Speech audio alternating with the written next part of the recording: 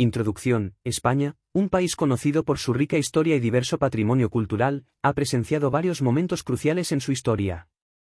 Una de esas transiciones trascendentales fue de la dominación islámica al dominio católico.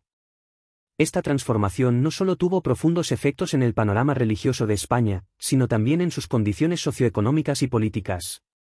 En este artículo, exploraremos si España fue más próspera durante su era islámica o en el periodo de dominación católica que la siguió. España Islámica, una edad dorada durante el dominio islámico de España, que abarcó desde principios del siglo VIII hasta finales del siglo XV, la península ibérica, conocida como Al-Ándalus, experimentó lo que a menudo se denomina Edad Dorada. Esta era se caracterizó por logros notables en varios campos, incluyendo la ciencia, la filosofía, las artes y la arquitectura. Prosperidad y tolerancia, España Islámica fue celebrada por su tolerancia religiosa, que permitió la convivencia pacífica de judíos, cristianos y musulmanes. Este ambiente de diversidad fomentó el intercambio intelectual, lo que llevó a avances en la ciencia y la cultura. Florecimiento cultural, la ciudad de Córdoba, en particular, se convirtió en un centro de aprendizaje, alardeando de una de las bibliotecas más grandes del mundo en ese momento. Eruditos de diferentes orígenes colaboraron, preservando y traduciendo las obras de la antigua Grecia, Roma y Persia. Avances científicos, la España musulmana contribuyó significativamente a las matemáticas, la astronomía y la medicina.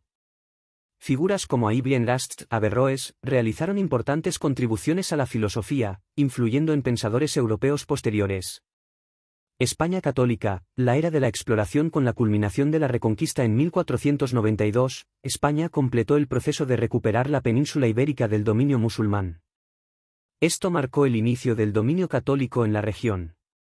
Exploración y colonización, bajo los monarcas católicos Fernando e Isabel, España emprendió un periodo de exploración y colonización.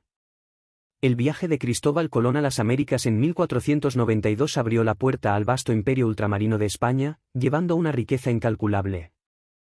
Unidad religiosa, los reyes católicos buscaban la unidad religiosa en España, lo que llevó a la conversión forzada o la expulsión de judíos y musulmanes en la Inquisición. Esta consolidación del poder religioso fortaleció la influencia de la Iglesia católica. Prosperidad económica, los nuevos territorios de España en las Américas, incluyendo México y Perú, eran ricos en recursos, lo que llevó a un periodo de prosperidad económica a menudo denominado la Edad de Oro Española. Comparando la prosperidad, determinar si España fue más próspera durante su era islámica o bajo el dominio católico es complejo.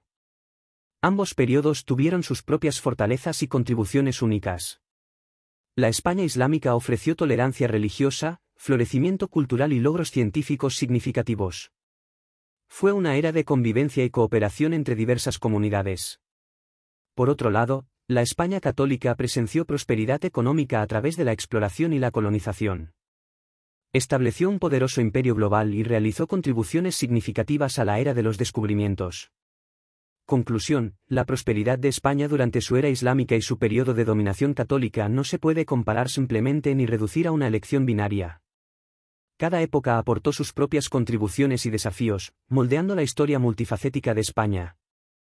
La historia de España es un testimonio de la compleja interacción de culturas, religiones y eventos históricos que han hecho de ella el país diverso y fascinante que es hoy en día.